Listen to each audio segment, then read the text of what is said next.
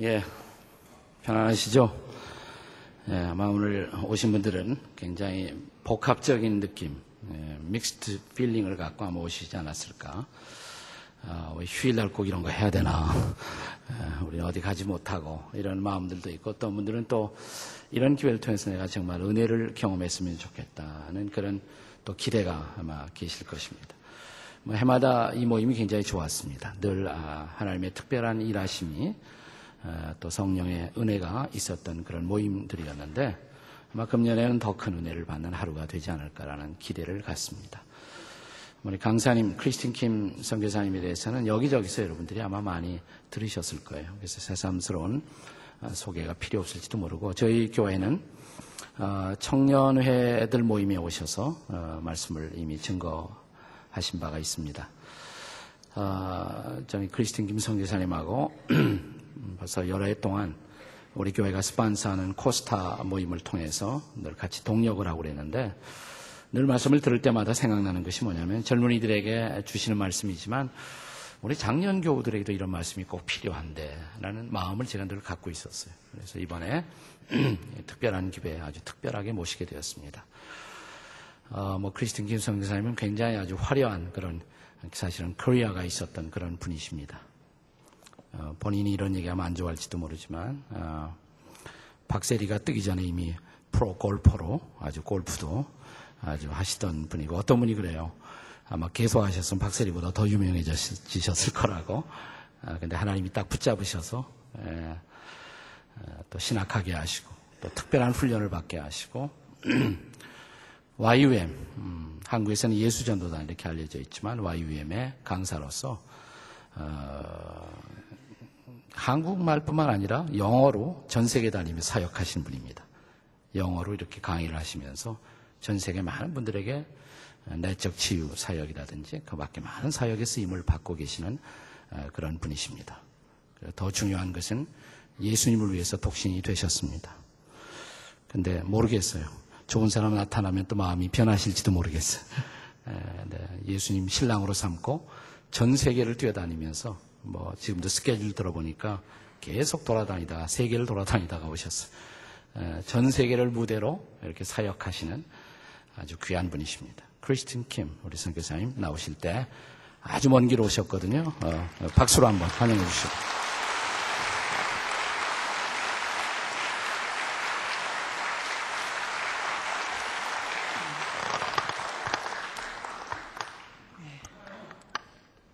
반갑습니다, 여러분. 아, 오늘 목사님께서 말씀하신 대로 모처럼 쉬시는 날일 텐데 이렇게 모이시느라고 애쓰십니다.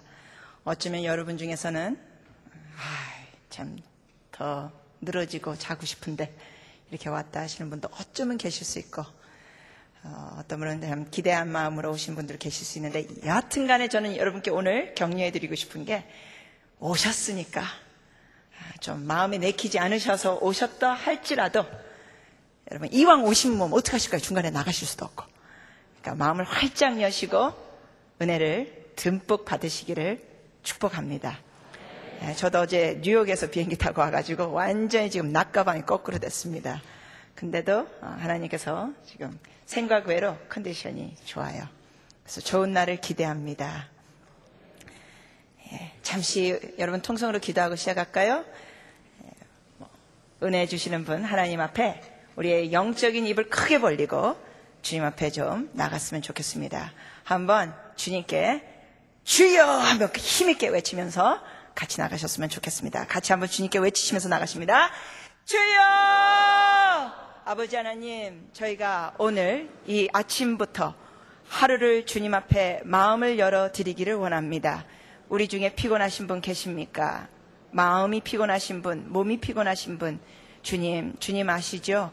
이 시간을 통하여 그분들의 몸과 마음을 성령님께서 만져 주시옵소서 피곤함도 걷어가 주시옵시고 내면에 있는 아픔들도 어루만지시고 걷어가시는 역사를 성령님께서 이 시간 베풀어 주시옵소서 성령님 환영합니다. 성령님께서 마음껏 주관하시는 오늘이 되게 하여 주시옵소서. 새로 또 직분을 맡으신 분들의 마음을 주님께서 사로잡아 주시사 감사함으로 섬기고자 하는 마음으로 기쁨으로 하나님을 사랑하는 마음으로 섬길 수 있도록 마음을 무장시켜 주시옵소서.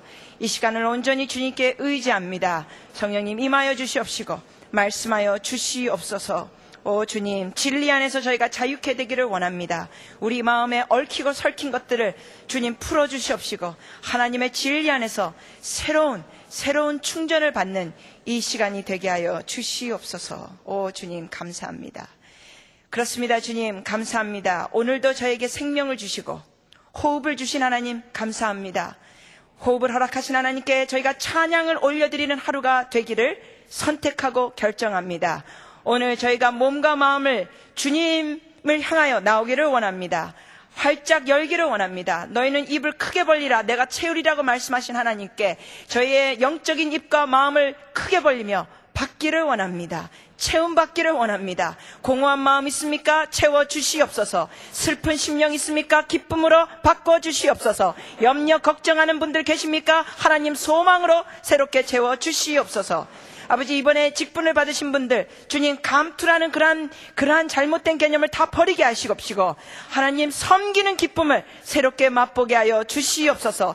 사람들을 두려워하는 그러한 분들이 아니라 하나님을 경외하면서 기쁨을 맛보는 자들이 되게 하여 주시옵소서. 감사합니다, 주님. 하나님의 말씀을 나눌 수 있는 귀한 특권을 주신 하나님. 주님, 저의 입을 주님께서 마음껏 주장하여 주시옵시고 학자의 혀를 주시사 이분들께 필요한 말씀들이 나눠지게 하여 주시옵소서. 감사드리고 예수님의 이름으로 기도합니다. 아멘. 네, 저는 청년들에게 강의할 때도 제가 이 장난감을 먼저 보여주면서 하는데 아마 여러분들께서 혹시 보신 분들도 계실 수 있겠지만 안 보신 분들을 위하여 특히 좀 보여드리고 싶습니다. 여러분 이게 무슨 장난감인지 아십니까? 네. 부메랑이라고 대답하시고 어떤 분 또 십자가라 그러시는데 연세 드신 분이 많을수록 십자가라는 대답이 많이 나옵니다. 예, 이것은 십자가 모양을 가진 부메랑이라는 장난감입니다. 부메랑이라는 장난감은 던지면 어떻게 되도록 돼 있습니까? 돌아오도록 돼 있죠. 제가 이거 잠깐 던지면 이게 돌아올까요? 못 돌아올까요? 예, 지금 두 가지 반응이 다 보입니다. 어떤 분은 고개까지 절레절레 주면서 안 돌아온다고 못 돌아온다고 그러고 어떤 분은 더 돌아온다고 대답하시고. 네. 궁금합니다. 우리 여기 이번에 이번 오신 분들, 이 재직 분들 중에 이게 돌아올 거라고 생각되시는 분 한번 손 들어 주실래요? 한번 몇 분이나 되시는지 궁금하네요. 어유 의외로 많으시네요. 예, 고맙습니다. 예, 손 안 드신 분들도 어, 오히려 더 많으신데 손 안 드신 분들께 제가 던지기 전에 한마디 드리고 싶습니다. 꼭 봐야 믿겠습니까?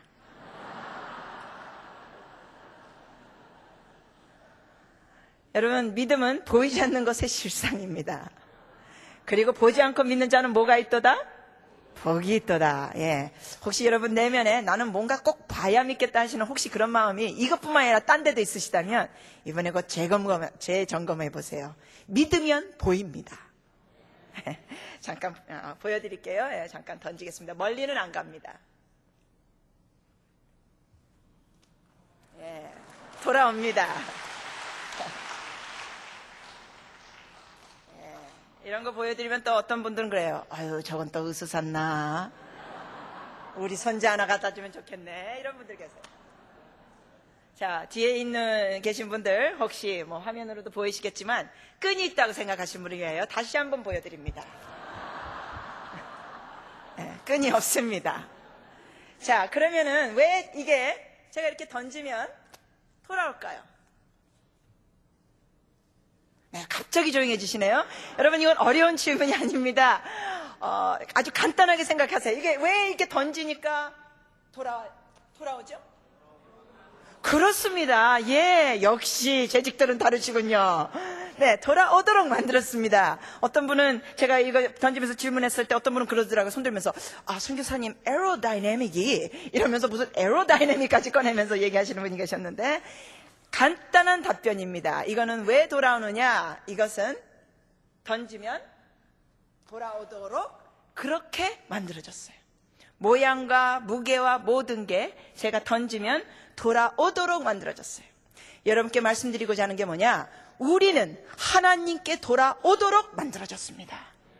우리가 아무리 넓은 평수 아파트에 살고 아무리 외제 자가용 끌고 다니거나 비싼 외제 옷을 입고 다닌다 할지라도 심지어 여러분이 명문대학 나왔고 아니면 어떤 좋은 회사에서 좋은 위치에서 일하고 사회적인 위치를 지닌 분이시라 할지라도 여러분의 마음이 여러분의 심령이 여러분의 내면이 하나님께 가까이 돌아오지 않은 상황이라면 왠지 모르는 허무함, 수치심, 갈등 속에 있습니다. 그러나 우리의 마음이 하나님께 가까이 오면 올수록 우리가 설사 좁은 평수 아파트에 살고 비싼 옷을 못 입고 다닐지라 할지라도 우리의 내면이 하나님께 돌아오면 돌아올수록 기쁨, 평강, 사랑, 소망, 담대함을 맛봅니다.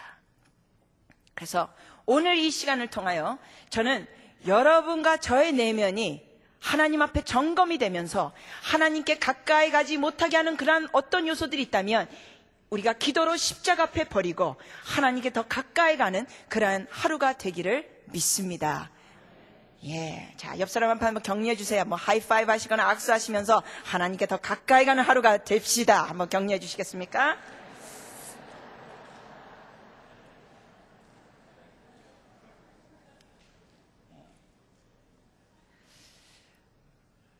우리나라에는 교회가 상당히 많이 있습니다. 여러분이 아시다시피 지난번에 어떤 분이 저한테 얘기하시는데 한 5만 5천여 개가 우리나라에 대한민국에만 교회가 있다고 합니다. 교회가 상당히 많이 있습니다. 서울에서 어떤 건물에 올라가 가지고 옥상에서 내려다 보면 정말 여러분도 아시다시피 빨간 십자가가 굉장히 많이 보입니다.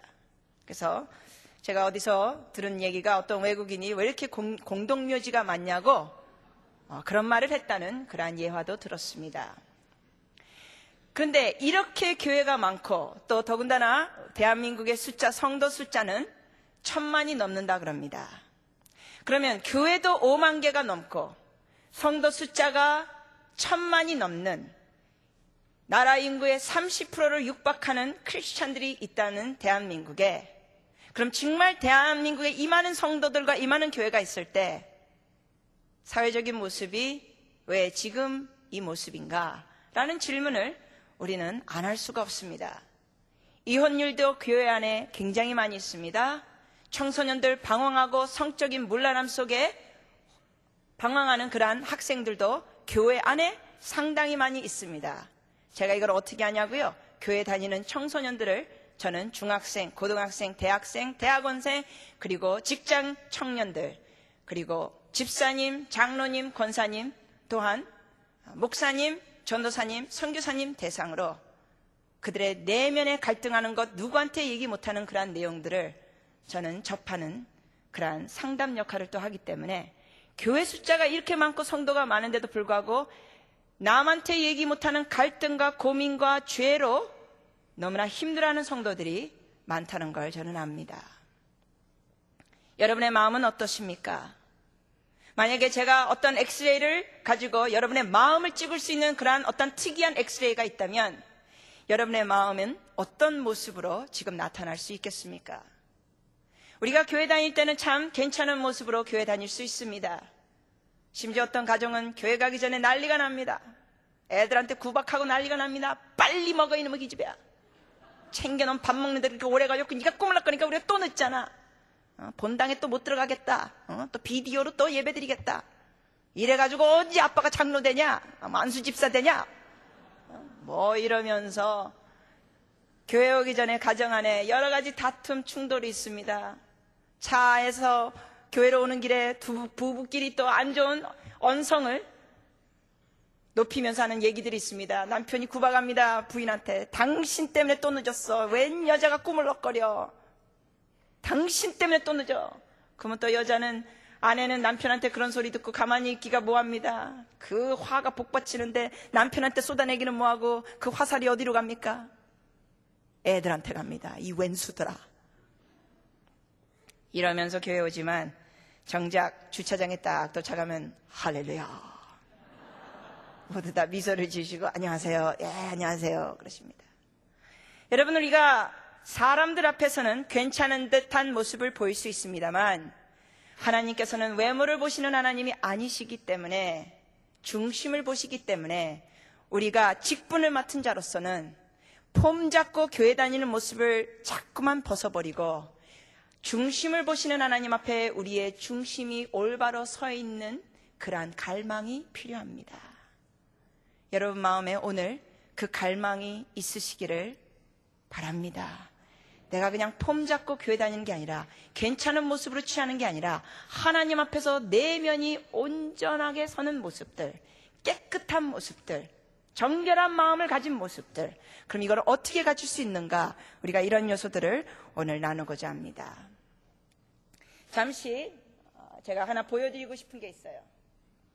예, 여러분께 종이와 어, 아마 펜들은 다 갖고 계실 테니까 잠시 욕을 해보시겠습니까?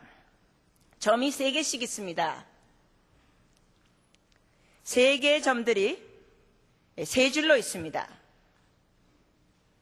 아홉 개 점이죠? 한번 여러분 종이 한번 그냥 적어 보세요. 만들어 보세요. 세개 점, 점, 점, 점, 그리고 밑으로 또 점, 점, 점, 점, 점, 점.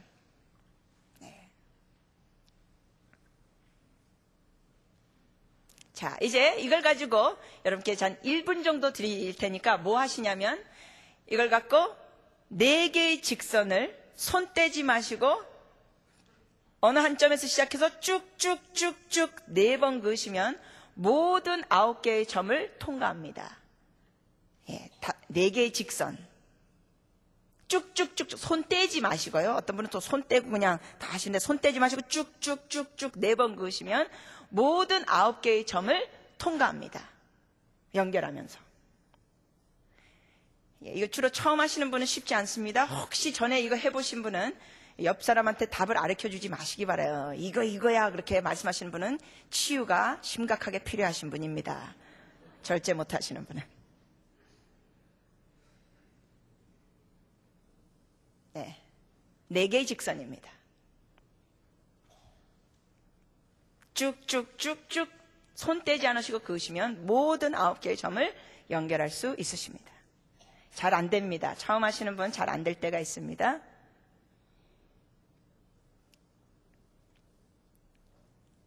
네. 혹시 여러분 중에 오늘 진짜 이걸 처음 봤는데 네 개의 직선 손 떼지 않으시고 쭉쭉쭉쭉 해서 다 통과하신 분 계세요? 네. 여러분 중에 아직 못하신 분 계시면 격려 받으십시오. 아무도 손을 못 드시고 계십니다. 여러분만 못한 게 아니에요? 잘 안 되죠? 예, 시간상 답변을 알려드리겠습니다. 시간상. 선 시작합니다. 자, 하나 보시면 자세히 보시면 점을 어떻게 씁니까? 지나갔습니다. 예, 제가 점 지나가지 말라고 말씀드리지 않았습니다. 예. 자, 두 번째 또 보시면 점을 지나갔습니다. 그렇죠? 세 번째 넷 다시 보여드릴게요. 자, 하나, 둘, 점을 지나갑니다. 셋, 그리고 넷. 손 떼지 않으시고 네 번, 네 개의 직선으로 아홉 개의 점을 다 연결합니다. 혹시 여러분 중에 이거 보시면서도 아직도 헷갈리시는 분, 하나님은 변함없이 사랑하십니다. 여러분의 가치와 정체성은 이런 거 잘하는 데 있지 않기 때문에. 네. 자, 그러면 이게 왜 힘들었을까요? 그렇죠. 점 안에서 이걸 할래니까 안 되는 거예요. 근데 여러분 중에 이거 처음 하셨는데 이거 해보시면 손 드세요. 그럴 때 아무도 손을 안 드셨어요. 왜 그렇습니까? 무슨 관념 때문에 그렇습니까? 그렇죠. 고정관념이에요. 고정관념. 여러분, 우리가 하나님 앞에서 직분 맡은 자로서 변화될 필요가 있는 것 중에 하나가 뭐냐면 자기의 고정관념을 깨야 돼요. 여러분이 지금까지 살아오면서 예, 이제 잠깐 저만 보여도 됩니다. 이 화면은. 여러, 여러분이 지금까지 살아오시면서 경험했던 것, 들어왔던 것, 보아왔던 것, 그러면서 어떠한 사고, 어떠한 관념이 굳어진 거예요. 그래서 점만 보면 점 안에서 이유는 거예요. 근데 또 어떤 분은 이렇게 집사나 무슨 직분을 맡게 되면 이래야 된다. 라는 자기 편견이 아주 강하신 분들이 계세요. 아니면 또 어떤 분들은 다른 교회에서 다니시다가 이 지구촌 교회 와가지고 자기가 경험한 신앙생활을 여기에서 하는 거하고 좀 다를 때 그거를 다른 것을 어떻게 생각합니까? 틀리다, 잘못됐다 이렇게 나오시는 분들이 계세요. 이런 분들이 누구를 힘들게 합니까? 예, 목사님을 힘들게 거예요. 그리고 주위 성도들을 힘들게. 이번 기회에 우리의 내면을 바라보면서 우리가 어떠한 사고, 어떠한 고정관념, 어떠한 사상, 어떠한 패러다임을 갖고 있는가 점검해야 합니다. 왜냐하면 우리가 진리가 아닌데도 불구하고 진리처럼 꽉 붙잡고 있는 고정관념들이 있어요. 진리가 아닌데도 불구하고 그게 마치 하나님의 말씀처럼 꽉 붙잡으면서 사는 분들이 굉장히 많아요. 근데 이런 분들이 교회 안에서 직분을 맡으면 맡을수록 진리가 아닌 걸 진리처럼 붙잡고 있는 분들이 직분을 맡으면 맡을수록 누구를 힘들게 하느냐? 교회를 힘들게 하는 거예요. 목사님, 전도사님, 교사들, 다른 분들. 심지어 지난번에 어느 목사님이 저한테 그러시더라고요. 아, 전도사님, 저, 저 교회에 우리 집사 하나 있는데, 이 장로교회입니다. 목사님 뭐라 그러냐면, 아, 이 한 사람 때문에 너무너무 힘들대요. 왜 그러냐 보니까 이 집사님이 자기 빨리 장로시켜달라 그러는 거예요. 왜냐면 자기보다 공부를 못한 동창이 있는데 걔가 벌써 장로 됐다는 거예요. 그러면서 목사님한테 찾아와가지고는 목사님, 뭐 피아노를 더 하나 뭐 필요합니까? 뭐가 필요합니까? 내가 사댈 테니까 빨리 장로시켜달라고. 아, 장로는 그렇게 되는 게 아닙니다. 그렇게 말씀을 드려도 뭐 마이동풍이라는 거예요. 뭐가 아니냐고. 내가 헌금 이렇게 열심히 내는데. 어? 그 그냥 공부도 못하는 그 밥통 같은 동창이 그냥 장로 돼가지고 나한테 넌 아직도 집사냐? 하면서 내리 깔아보는데 아 우라통이 치민다는 거예요. 여러분 이 장로라는 직분 이 침례교에서는 또 안수 집사님이라는 이런 직분 이게요 감투가 아니거든요. 근데 고정관념 있는 분들이 계세요. 여러분의 내면에는 어떠한 사고, 어떠한 생각, 어떠한 이념, 어떠한 사상 이런 것들이 들어있을까요? 한번 점검해 보시겠습니다. 도표를 잠깐 보여드리고 싶습니다. 우리의 인생을 왜곡시키는 요소를 세 가지로 요약하면 이 세 가지입니다, 여러분. 여러분 인생 힘들게 사신 분 여기 계십니까? 왠지 모르게 너무나 사는 게 피곤하신 분 여기 계십니까? 인간관계가 어려운 분 여기 계십니까? 사는 것 자체가 예수 믿는데도 불구하고 기쁘지 않고 힘든 분들, 물론 다른 이들도 좀 있겠지만, 제가 내적 치유하면서 보면은 이 세 가지가 사람을 진짜 힘들게 하고, 대인관계를 어렵게 하고, 인생을 피곤하고, 지치게 하는 요소들을 요약해보면 이 세 가지입니다. 첫째가 뭡니까? 한번 읽어주시겠어요? 첫째가? 무, 어, 이거 엉뚱한 단어가, 저기, 잘렸네요. 저 위에 단어가 어떻게 보이게 하실 수 있어요? 지금, 위에 단어가요, 네. 좀 보이게 해주시면 좋겠네요. 하여튼, 조절할 때까지 제가 말씀드릴게요. 첫 단어는 무지입니다, 무지. 조금 더 내려오면 좋겠는데. 예, 무지입니다. 무지가 사람 어떡합니까? 사람 잡습니다. 근데 우리가 흔히 모르는 게 약이야, 모르는 게 약이야. 저는 보신탕을 안 먹는 사람 중에 한 사람입니다. 어렸을 때부터 강아지를 키우면서 그 외로움을 달랬던 저는 그런 배경이 있기 때문에 강아지를 키우면서 그 강아지가 크면 아 이거 눈도 못 뜨는 그 강아지를 키우면서 그게 셋바트 종류였는데 어 뭐 이만하게 컸는데 얼마나 저한테는 가까운 친구였는지 어렸을 때요. 그래서 저는 개를 잡아먹는다는 건 이게 생각이 저는 받아들일 수 없습니다. 그런데 12살 때 보신탕을 먹었습니다. 어떻게 먹게 됐겠습니까? 엄마가 속였습니다. 육개장이라고. 그래서 맛있게 먹는데 뭐라 그러냐 맛있지? 그래서 제가 예 그랬어요. 다 먹은 다음에 말씀하죠. 그게 보신탕이었어. 아 제가 그때 뭐 느꼈는지 아세요? 배신감. 진짜 믿을 인간 없다. 몰랐기 때문에 몰랐기 때문에 보신탕을 먹었어요. 제 평생에 딱 한 번 먹었습니다. 보신탕을 그때. 속이면서 그렇게 먹이는 거 좋지 않습니다, 여러분. 무지. 무지하면 너무나 손해보는 게 많아요. 무지하면 당하는 것도 많아요. 근데 또 이 무지함을 우리가 좋게 표현할 때 그러죠. 무식하면 뭐하다? 용감하다.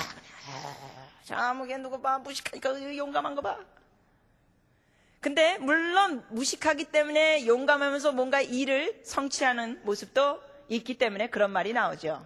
그러나 우리가 궁극적으로 파헤쳐 보면 우리의 인생에 무식하면 용감하다는 그 표현보다는 무식하면 너무나 손해를 많이 보는 게 많아요.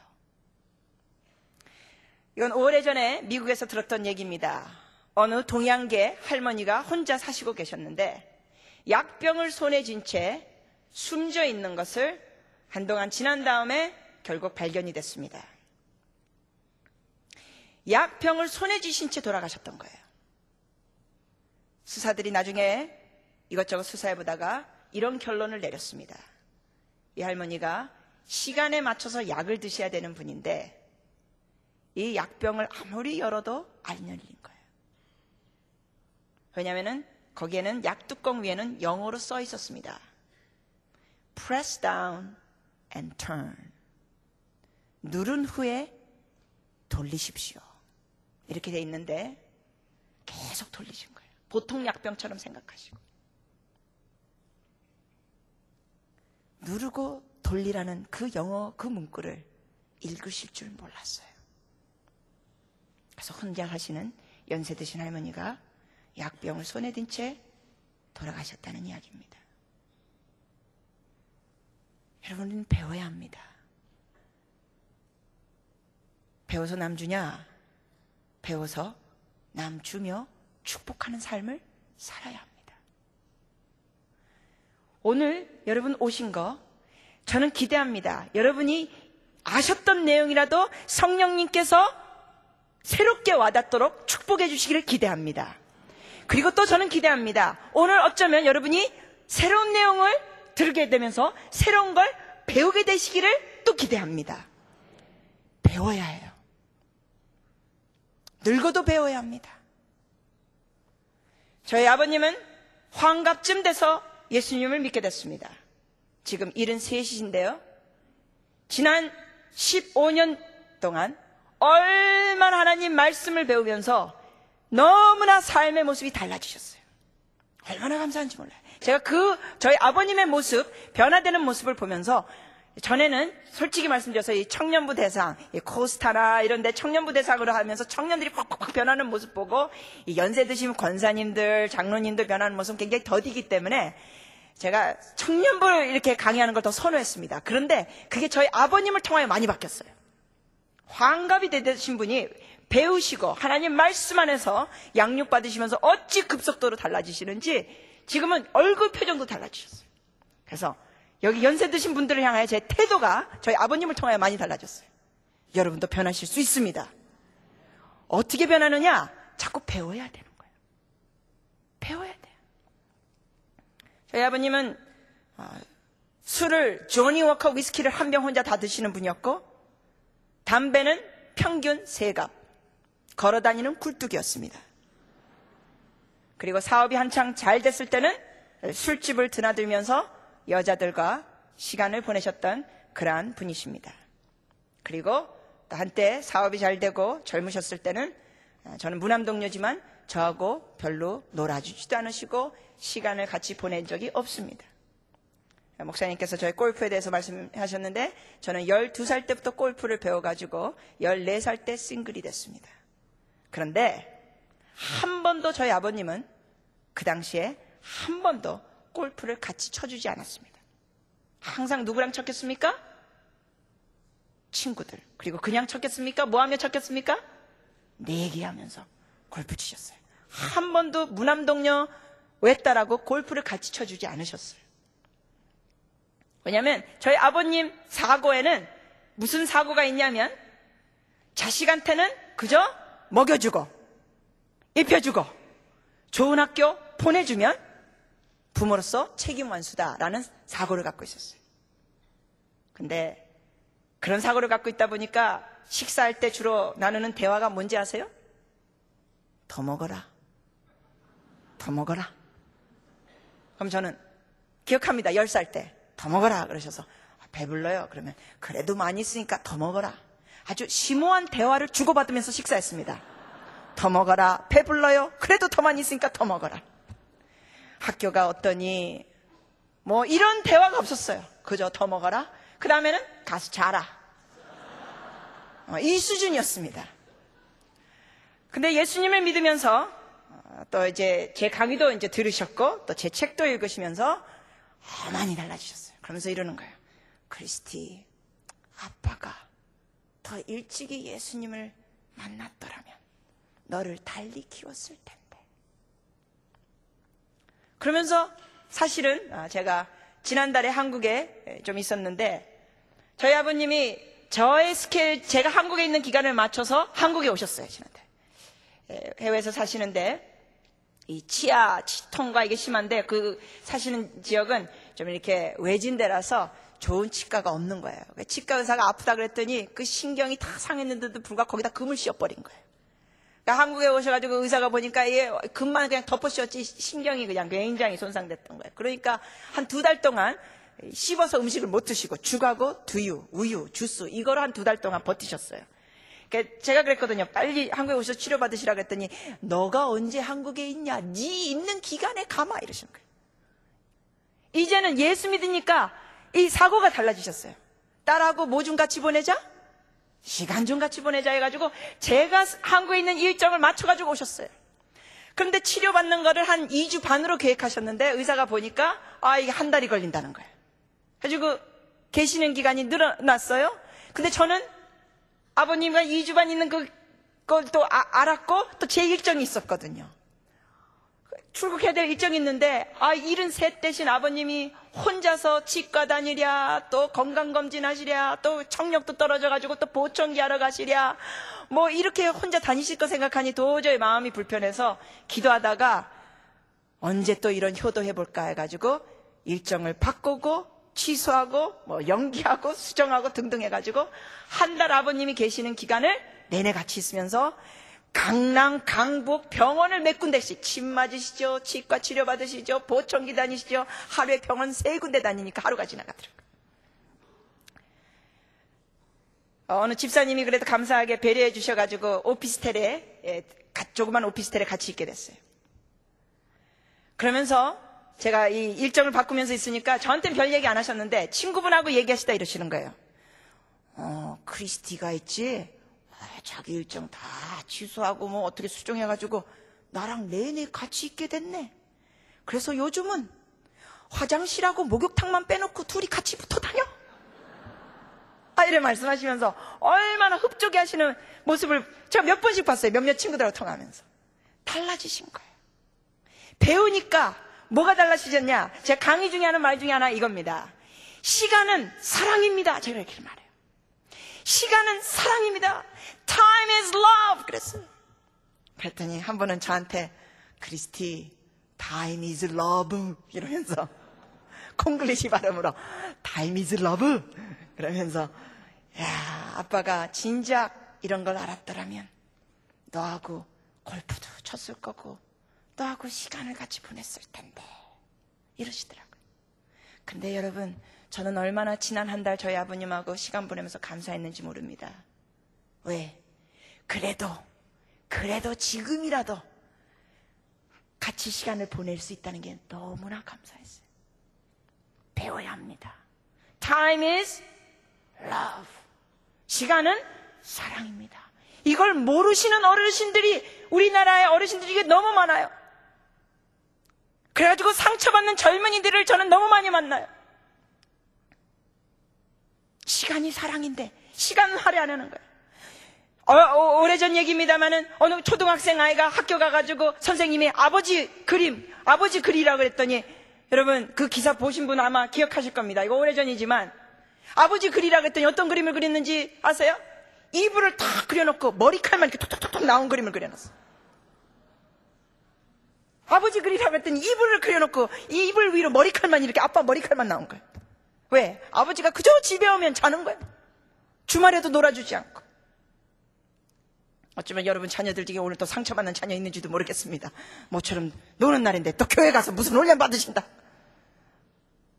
네, 나중에 시간 가지세요. Time is love. 배워야 합니다. 자, 옆 사람 한번 격려해 주시겠습니까? 죽을 때까지 배웁시다.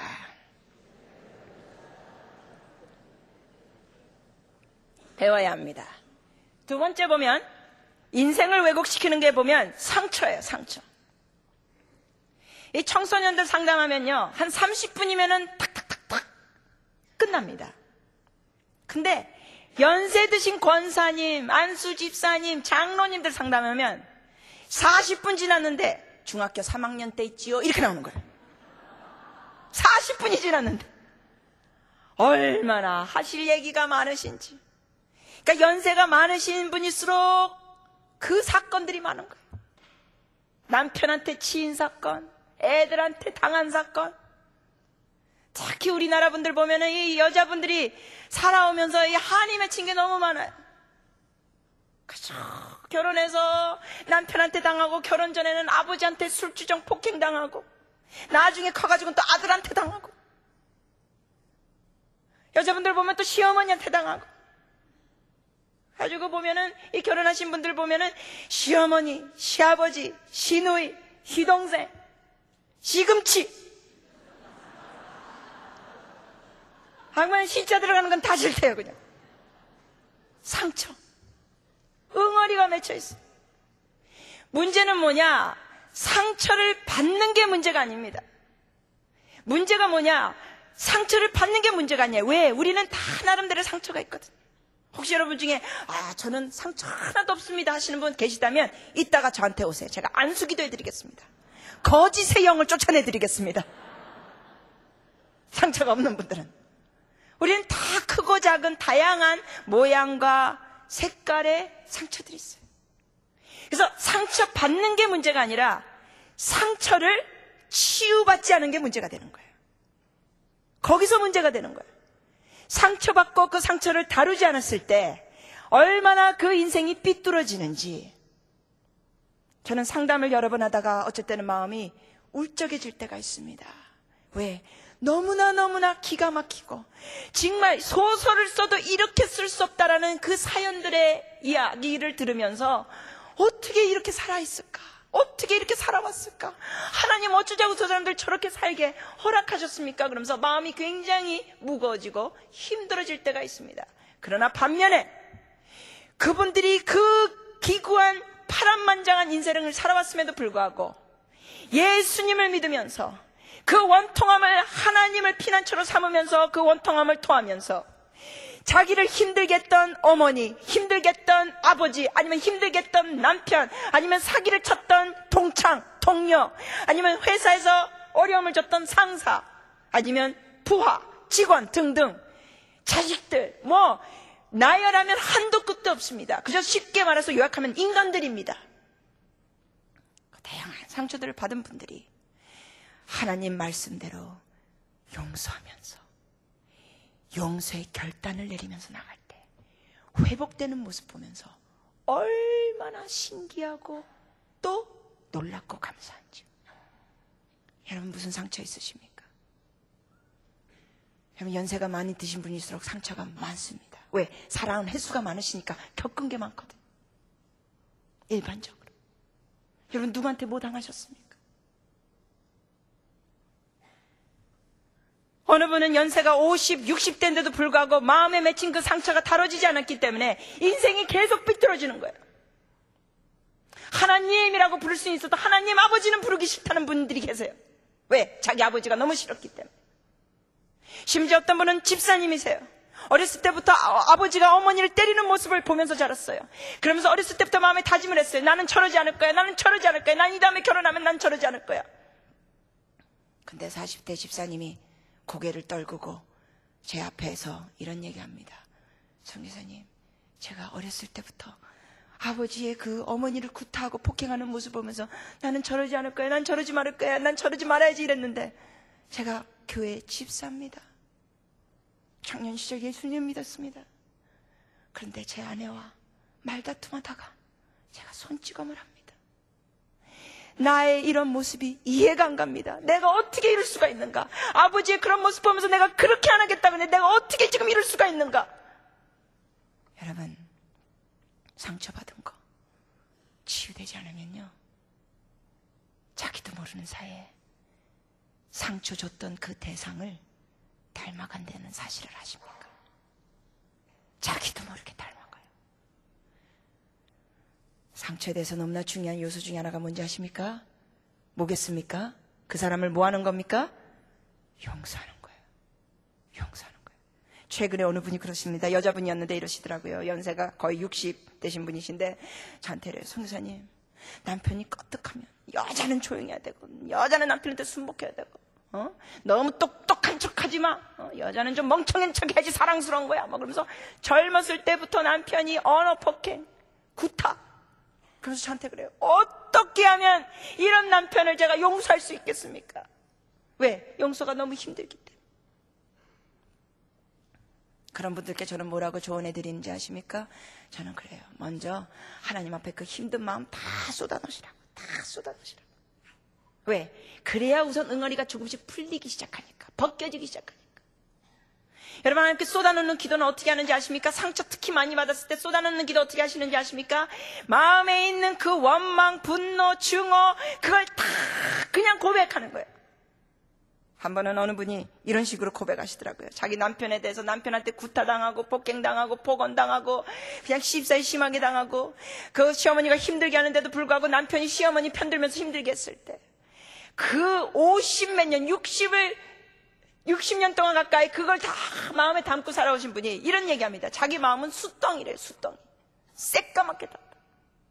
그래서 제가 그 말씀드려 다 토하십시오. 그때 우리는 소그룹을 나눠가지고 기도하는 시간 가졌었습니다.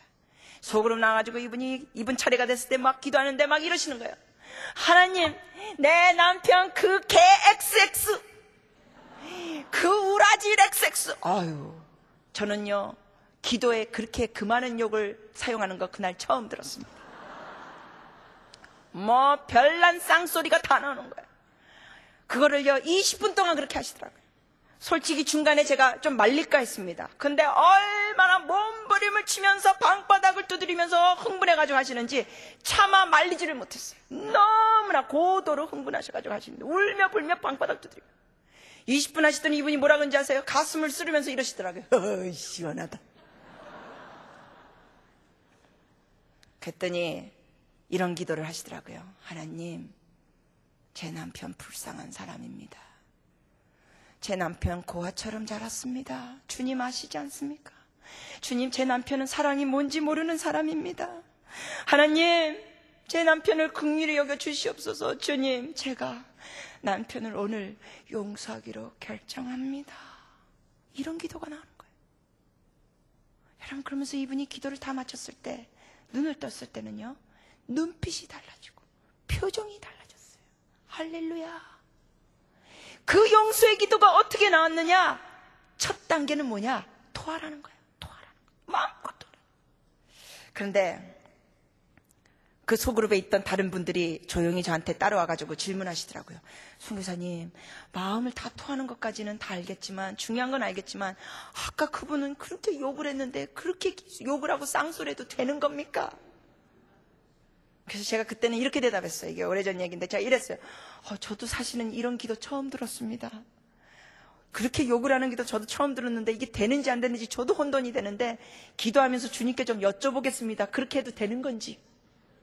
가지고 제가 혼자 따로 기도하러 갔어요. 주님, 아까 아무아무게 아시죠? 그렇게 쌍소리를 하면서 기도했는데, 주님, 그렇게 쌍소리를 하면서 마음을 토하는 기도 해도 되는 겁니까? 여쭤봤어요. 되는 겁니까? 그리고 기다렸어요. 기다렸더니 좀 있다가 성령님께서 말씀하시기를 이렇게 말씀하시더라고요. 시편에 있는 많은 기도가 솔직하게 토하는 기도지만 쌍소리는 없다. 아, 그래, 알려주시더라고요. 그래가지고 제가 가서 답변했죠. 예. 토하는 기도는 할 수 있지만 쌍소리는 아닙니다. 여러분, 토하십시오. 하나님은 피난처십니다. 상처 없는 사람이 없습니다. 토하시고 용서하십시오. 그러면 달라집니다. 자, 그런데 문제는 뭐냐? 어떤 분들은 용서했는데도 불구하고 그 남편이 2주 뒤에 또 미흡다는 거예요. 지난번에 어느 여자 집사님이 뭐라 그런지 알아요? 남편이 바람을 폈대요. 6개월 뒤에 이게 들켰대요. 근데 감사한 것은 남편이 6개월 뒤에 들켰는데 덜미가 잡혔는데 그냥 손이 발이 이 발이 손이 되도록 빌면서 다시는 안 한다고 해서 다 그 전화번호도 다 제거하고 다 삭제했대. 그리고 정리했대. 그리고 정말 여보 나 다, 시 두 번 다시 안 한다고 그러면서 아무튼 긴 얘기를 짧게 줄여서 두 사람이 이제 용서를 결정하고 아내가 남편을 용서하기로 하고 남편은 두 번 다시 그러지 않기로 했다는 거예요. 눈물을 흘리면서 이 아내는 용서했다는 거예요. 근데 한 2주 지났을 때 남편이 출근하러 가면서 구두끈을 이렇게 엎드리면서 매는데 모가지를 탁 치고 싶더래요.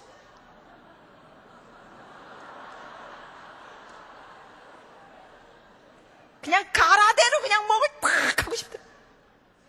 그래서 이분이 저한테 오신 거예요. 뭐라 그러냐면 송교사님 울고 불고 진짜 남편은 그때 저는 진심으로 용서했다고 생각했는데 진심이 아니었나 봐요. 어제 출근하는데 그냥 탁 쳐주고 싶더라고요.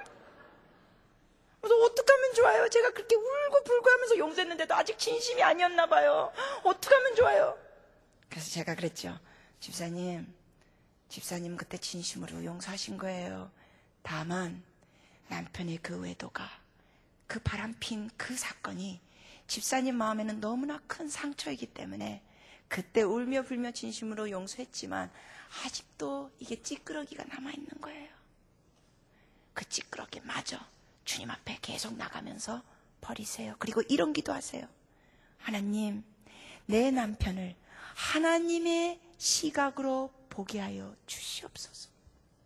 하나님의 시각으로 보게 하여 주시옵소서. 다르게 표현하면 하나님의 눈, 하나님의 마음, 하나님의 관점으로 보게 하여 주시옵소서. 그런 기도 하십시오. 그랬어요.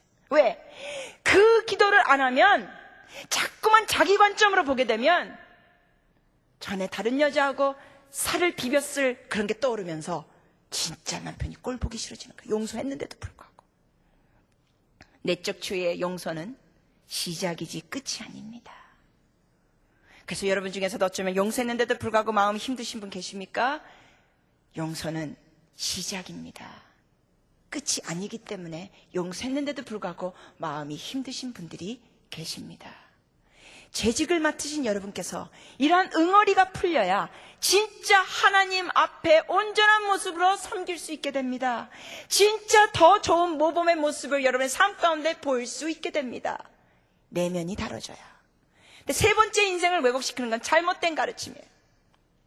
잘못된 가르침. 여러분이 여태까지 살아오면서 잘못된 가르침 받아온 것들이 뭐, 뭐가 있습니까?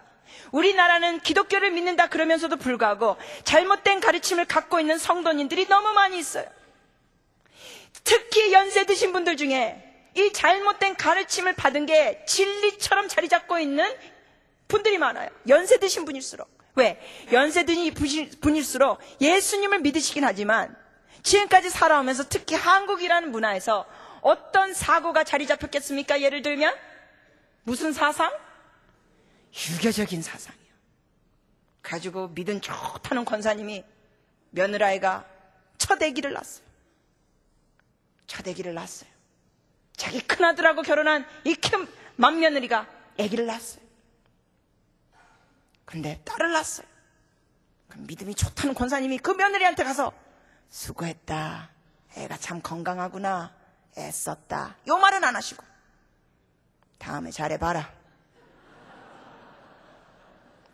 이 말을 쏘고는 나가시는 거예요. 애썼다고 수고했다는 말 안 하시고. 그러면서 교회 와서는 할렐루야 하는 권사님이 잘못된 사상이 있는 거예요. 유교적인 사상.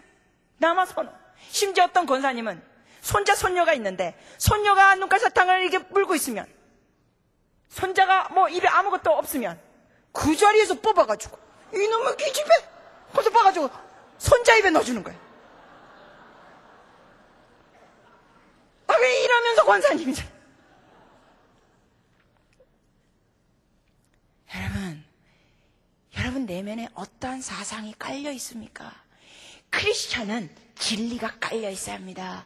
크리스천은 하나님의 사고가 깔려 있어야 됩니다. 성경적인 사고가 깔려 있어야 되는데 장로님, 권사님, 안수 집사님 뭐 이러신 분들이 아직도 여전히 깔려 있는 내면의 사상은 유교적인 사상.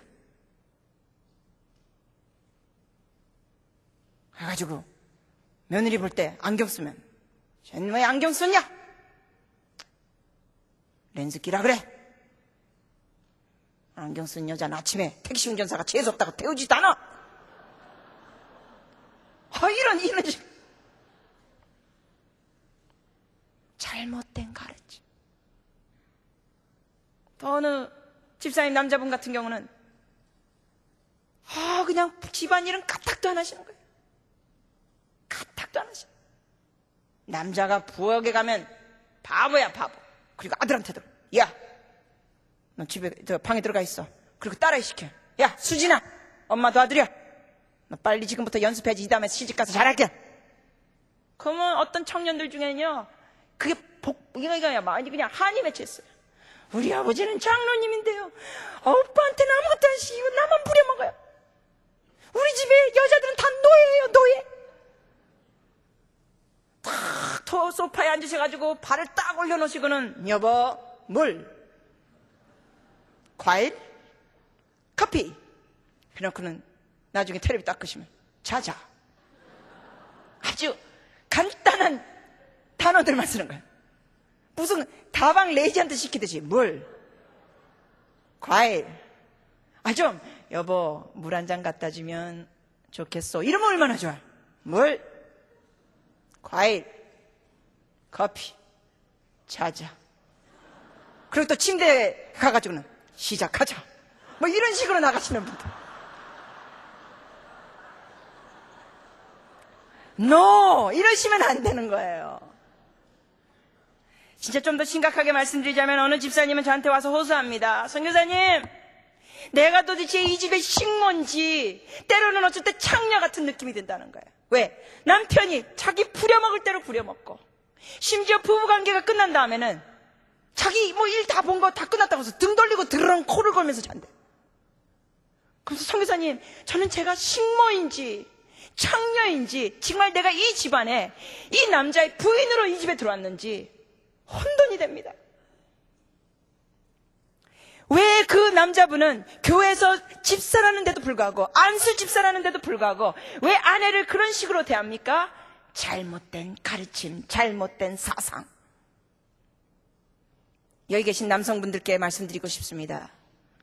기도응답 잘 받고 싶으십니까?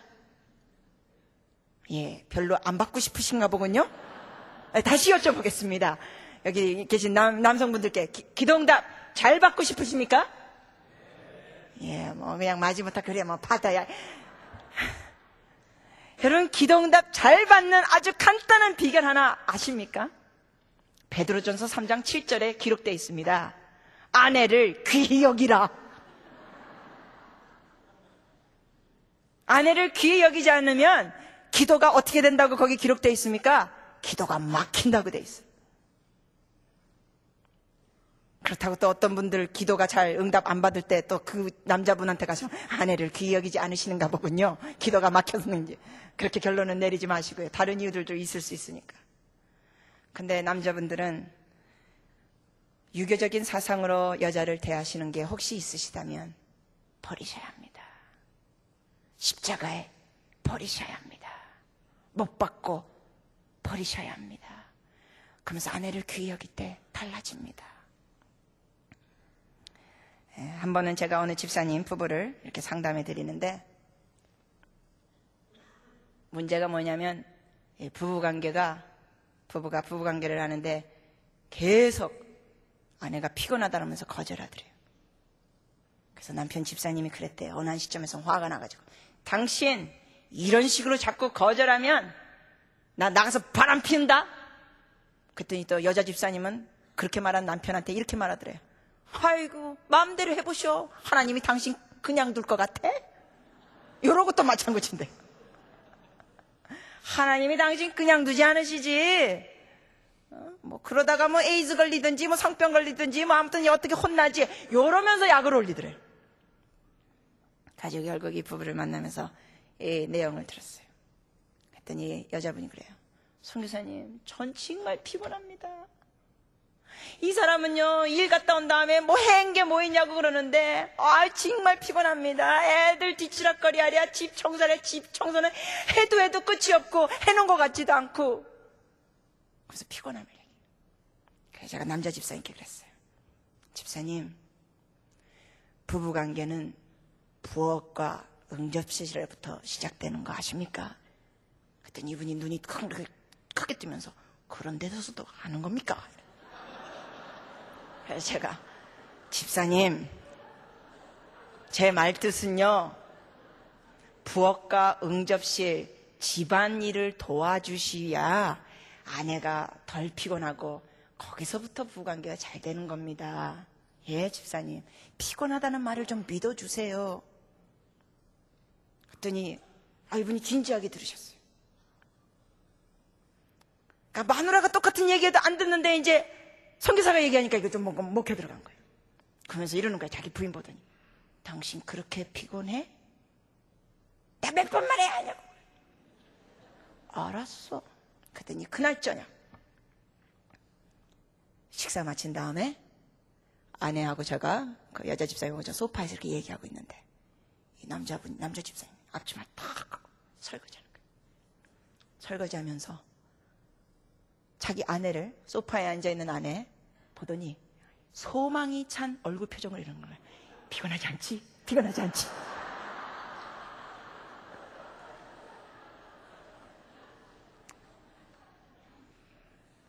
근데 그 아내가 저한테 그 소파에 앉았을 때 이런 얘기 하시더라고요. 성교사님, 제 남편은 외아들이에요. 그래서 어렸을 때부터 받은 가르침이 남자는 부엌에 가서 손을 물에 담그면 안 된다. 물에 담그면 안 된다. 여자 할 일이 있고 남자 할 일이 구별 확실하게 돼가지고 절대로 집안일 안 도와줬다. 쓰레기 한 번도 안 버려. 아, 그냥 응접실에 앉아가지고 다방 레지 시키듯이 그냥 커피, 물, 얼음 넣어서 뭐 이런 식으로. 그런데 이러는 거예요. 오늘 처음으로 설거지한다. 결혼한 지 17년 만에.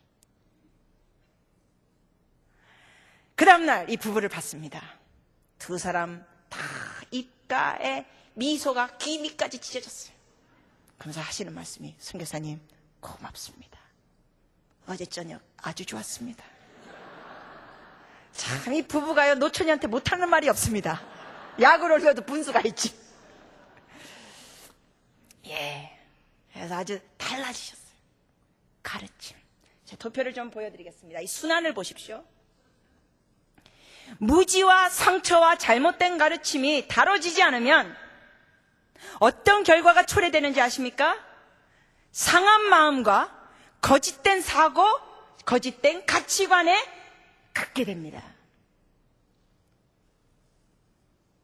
무지, 상처, 잘못된 가르침이 다뤄지지 않으면 예수 믿는 사람으로서 집사니, 권사니, 뭐 안수 집사니, 뭐 장로니 하지만 내면은 상하 있는 마음, 거짓된 사고, or 가치관 이걸 갖고 있어요. 그러면 이걸 가지고 있을 때 문제는 여기서 끝나지 않은, 않, 않아요. 마음이 상해 있어요. 가치관이 너무나 잘못돼 있어요. 그럼 결과가 뭐냐? 결과가 안 좋은 거예요. 감정이 안 좋아요. 여러분, 우리나라 분들 같은 경우는 이 잘못된 가치관이 너무 많이 있는 것 중에 하나가 뭐냐? 우리나라 문화는 여러분이 아시다시피 대학 입시 제도 교육이에요. 애들을 그냥 쥐어짜요. 믿음이 좋다는 권사님, 장로님, 안수 집사님 이런 분들도 자녀들한테는 이 사고가 여전히 전수되는 거예요. 그죠? 대학 가라고. 좋은 대학 가라고. 최근에 제가 어느 청년을 상담했는데 얼마나 울며 불며 몸부림치면서 괴로워하는지 아십니까? 왜? 자기 아버지들, 자기 아버지 친구들, 자기 아버지 친구들의 자녀들은 명문대 갔다는 거예요. 근데 자기는 명문대 못 들어갔다는 거예요. 그것 때문에 얼마나 왕따 당하고 식구들한테 완전히 거절당하고 구박당하고 언어 폭행당하고 이놈의 자식아 그따위로 공부할 바엔 나가 죽어 이놈아 이런 말들 잘못된 가치관 때문에 어느 한 목사님은 자녀가 아들이 있는데 이 자녀가 서울 상대 갔습니다. 네, 이분이 말씀하시는 서울 상대 의미는 서울에서 상당히 먼 대학을 말씀하시는 겁니다. 네, 이 아들이 그 지방대학에 그렇게 이름을 대면 정말 모를 그러한 지방대학에 갔는데 목사님은 가치관이 세속적인 가치관이 아니라 그 아들의 가치가 어느 대학에 갔느냐 그게 아니라는 것을 확실하게 갖고 있는 분이시라서 아들이 그 지방대에 갔을 때 이렇게 축하해 줬다는 거예요. 아들아 괜찮어. 명문대 간다고 너가 더 가치 있는 존재가 되는 거 아니야. 너는 하나님 앞에서 너 자체가 천하보다 귀한 자야. 너 거기 가서 최선을 다하면서 즐겁게 공부해. 응? 그러면 돼. 그래서 그렇게 격려해 줬어요. 그랬더니 이 아들이요. 진짜 서울 상대 다니는 아이처럼 어깨가 떡 벌어지고 얼굴이 밝은 거예요. 서울에서 상당히 먼 대학을 다니는데도 진짜 서울대 다니는 것처럼 애가 그냥 자부심이 넘치는 거예요. 왜? 가치관이, 진리가 심겨졌기 때문에. 여러분 내면에는 갖고 있는 가치관들 오늘 우리가 이걸 철저하게 좀 점검할 거예요. 뭐가 깔려 있는가? 왜냐하면 이 믿음이 좋으신 분들은 대답은 그래요. 에휴, 뭐, 뭐, 우리 아이가 뭐 좋은 대학 가는 게 다가 아니죠. 물론이죠. 생명이 귀하죠. 전화보다 귀한 우리 아들이죠. 딸이죠. 뭐 이렇게 얘기하세요. 이론으로는. 근데 문제는 내면 깊은 데서는 그게 아니라는 거예요. 이렇게 될때 결과가 뭐냐? 결과 잠깐 보시겠습니다. 이렇게 될 때 결과는 잘못된 위로를 취합니다. 마음은 상해 있고 거짓된 사고와 가치관으로 계속 눌려 있는 내면 때문에 뭔가 위로받고 싶은데 잘못된 위로를 쉽게 취합니다. 왜? 이 길이 더 쉬우니까. 그래서 쾌락, 뭔가 기분 좋은 걸 합니다. 정력, 뭔가 느낌이 좋은 걸 합니다. 성취, 자꾸만 뭔가 이루려고 합니다. 그래서 뭔가 보여주려고 합니다. 아니면 돈이 있을 때 자꾸 뭔가 소, 소유합니다. 사들입니다. 그리고 그거를 자랑합니다. 이 길을 택하는 크리스찬들이 얼마나 많은지요. 교회 다니시면서도 다른 여자 만나는 여, 남자분들. 근데 우리나라 남자분들은 사실 좀 불쌍해요. 외국 다니다 보면은 특히 우리나라 남자들이 이 신앙생활 하는 게 쉽지가 않거든요. 나름대로 깨끗하게 살려고 노력하시는데도 가만히 얌전히 있는데도 불구하고 핸드폰으로 오빠 후회하지 않게 해줄게. 전화가 막 오니까. 예, 쉽진 않아요. 예, 또 뭐 한국은 특히 서울은 어디를 가나 뭐 차가 밀리는데 차 밀리고 이렇게 차가 천천히 서행을 하고 있을 때 뭐 가로등이나 이런데 상큼한 만남 080-550-7575 막 보이니까 유혹이 있는 건 사실이에요. 그래서 어려움이 있어요. 그래서 예수님 믿는다는 집사님, 장로님 이런 분들 중에 안 좋은 그러한 삶을 사는 분들을 제가 상담해 드리기도 합니다. 근데 문제는 뭐냐면은 그 안 좋은 모습, 성적으로는 물러남, 아니면 잘못된 삶의 모습이 어디서 왔느냐? 결국은 배경이 상처거든요. 배경이 잘못된 가치관이거든요. 내면이 변하면 겉으로 나오는 행동이 변하지 않을 수가 없습니다. 여러분 중에 죄 짓지 않으려고 노력하시는 분 어떻게 하십니까? 흔히 저는 전에 알고 있던 방법은 나 이거 하지 말아야지 하지 말아야지 하지 말아야지 가지 말아야지 가지 말아야지 가지 말아야지. 많은 사람들이 보면 아 이 여자 만나야지 말아야지 이, 이, 남자 이렇게 만나지 말아야지 이거 보지 말아야지 이거 하지 말아야지. 이거로 초점을 두시는데 하지 말아야지 하지 말아야지 하지 말아야지 아예 초점을 두시면 죄를 이기는 비결은 아니에요. 왠지 아시죠? 하지 말아야지 생각할수록 하지 말아야 할걸? 아, 생각하고 있으니까. 제가 이런 예를 드립니다. 분홍색 코끼리 생각하지 마세요. 여기 앞에 계신 분, 분홍색 코끼리 생각하지 마세요. 분홍색 코끼리, 분홍색 코끼리 생각하지 마세요. 다시 한번 말씀드립니다. 분홍색 코끼리 생각하지 마세요. 무슨 색깔 코끼리 생각납니까? 분홍색 코끼리 생각나는 거예요. 하지 말아야 할 걸, 하지 말아야지, 하지 말아야지, 하지 말아야지, 이면은 하지 말걸 생각하는 거예요. 근데 여러분께 말씀드립니다. 내면이 상한 마음이 고침받고 가치관이 진리로 달라지면 잘못된 위로를 취할 필요가 없게 돼요. 왜? 이미 만족스러워져서 하지 말아야지, 하지 말아야지 이 생각을 안 하게 되고 좋은 것을 이미 맛봤기 때문에 달라진다는 거예요. 제가 고등학교 2학년 때부터 예수님을 예, 그 당시 믿지 않았을 때입니다. 대학교 1학년 때 예수 믿게 됐는데 고등학교 2학년 때부터 저는 나, 나름대로 방황했던 모습 중에 하나가 제가 춤을 추러 다녔어요. 고2 때부터. 낮에는 골프 치고 밤에는 춤췄습니다. 그 당시에 디스코텍이 인기였습니다. 제가 고등학생 때. 그 당시에 존 트라볼타 토요일 밤에 에, 열기라는 그 영화가 히트 쳤을 때입니다. 그래서 그 울적한 마음을 몇몇 아이들과 밤에 제가 디스코텍 다녔어요.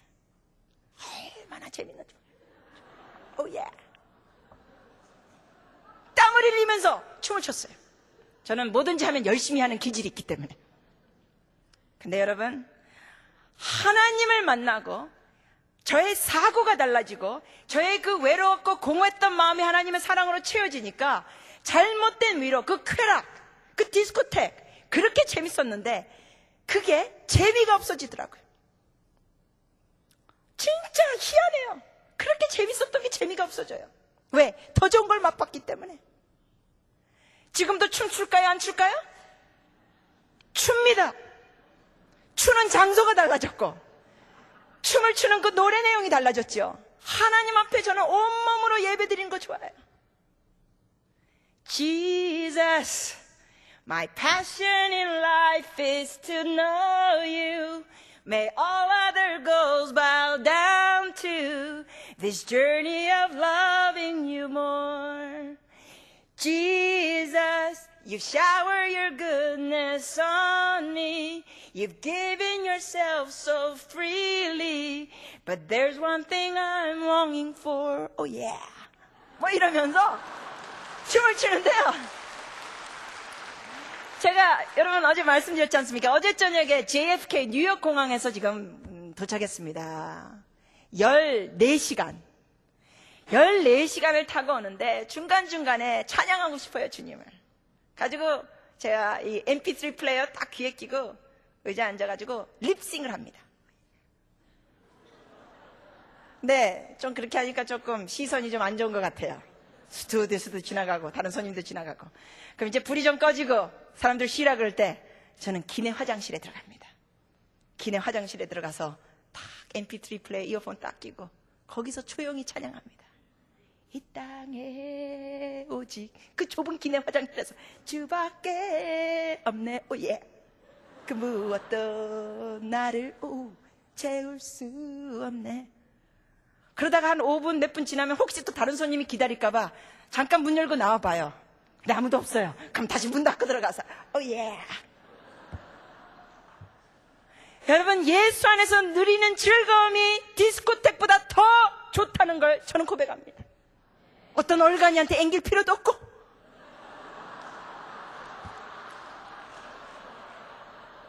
입장료도 없고, 얼마나 즐겁고 감사한지. 내면이 달라지면 누리고 즐기는 게 달라집니다. 마지막으로 그럼 이 도표가 어떻게 되느냐?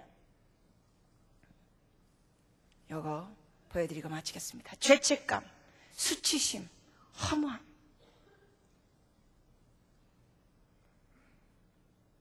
여러분 잘 들으십시오. 직분이 여러분이 집사라는 직분, 권사라는 직분, 안수 집사님이라는 직분, 아니면 여러분이 장로님이라는 어떤 직분이 있을 때 그 직분이 여러분을 변화시킬 수 없습니다. 그걸 잘 들으셔야 합니다. 왜냐하면 좀 전에도 제가 말씀드렸습니다. 저는 선교사, 전도사, 목사님, 그리고 사모님들을 저는 상담해 드립니다. 직분이 그들을 변화시킬 수 있다면 목사님, 전도사님, 사모님, 선교사들은 잘못된 삶의 방향이 없어야 되고 이 잘못된 위로를 취하지 말아야 됩니다. 그러나 그들의 내면이 하나님 앞에 다뤄질 것이 다뤄지지 않았기 때문에 목사, 전도사, 선교사, 사모라는 직분을 가졌음에도 불구하고 내면에 이런 것들이 깊게 다뤄지지 않았기 때문에 깊은 치유가 없었기 때문에 잘못된 위로를 취하는 그러한 직분자들, 사역자들이 계십니다. 여러분, 하나님은 속일 수가 없습니다. 여러분의 내면이 철저하게 다뤄지시기를 축복합니다. 철저하게 여러분의 내면을 오늘 하나님 앞에서 점검하면서 제거할 것들 제거하고 하나님 앞에 새롭게 심겨질 진리들 우리가 꽉 붙잡아야 합니다. 아무도 안 볼 때 여러분 뭐 하십니까? 어느 누구도 안 볼 때 여러분은 뭘 보십니까? 뭘 생각하십니까? 아무도 모를 때 누구를 만나고 계십니까? 아무도 안 볼 때 여러분 뭘 마십니까? 뭘 피십니까?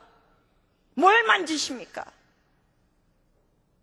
여러분 우리의 내면이 하나님 안에서 이런 것이 다뤄지면 보고 듣고 만지고 만나고 가는 곳이 달라져요. 근데 거기에 대해서 하나 가고 싶은데 가지 말아야지 그 수준이 아니에요. 가기 싫어져요. 할렐루야. 거기에 죄를 향한 승리가 있고 참된 자유가 있습니다. 우리 잠시 동성으로 기도하시고 하겠습니다.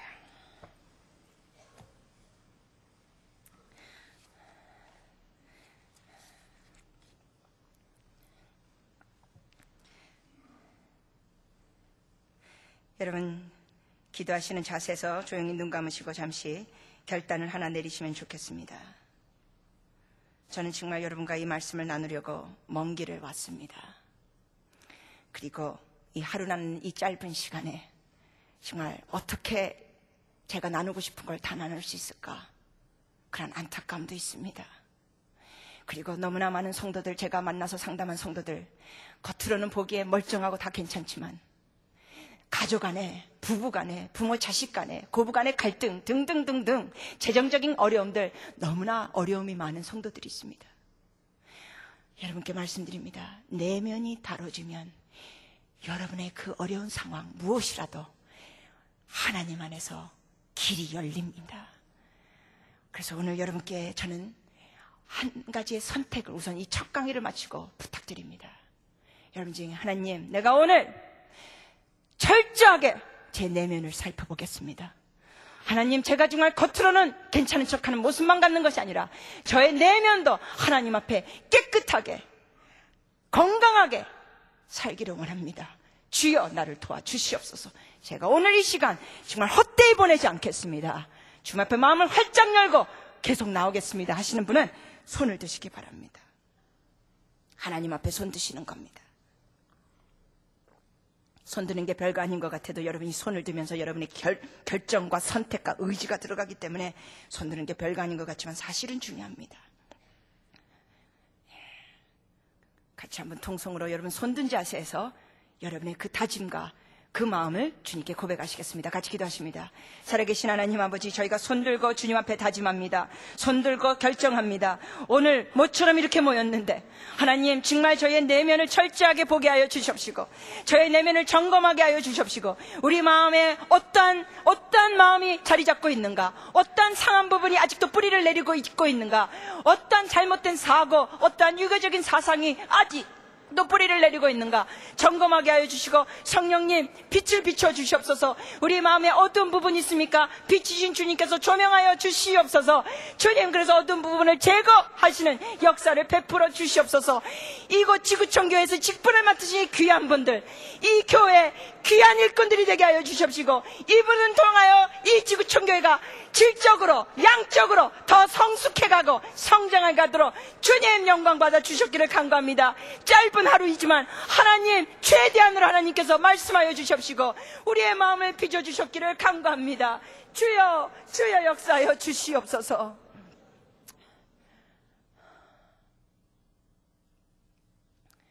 그렇습니다, 주님. 말씀하시옵소서.